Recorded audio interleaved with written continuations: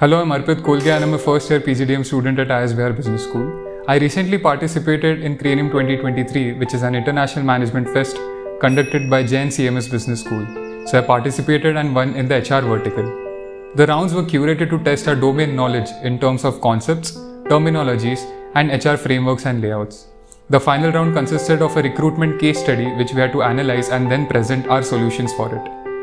So uh, I'll be flying on to Baku on 8th of February, which is in Azerbaijan, for the grand finale round, and I'm really looking forward to participate and learn a lot many things out of it.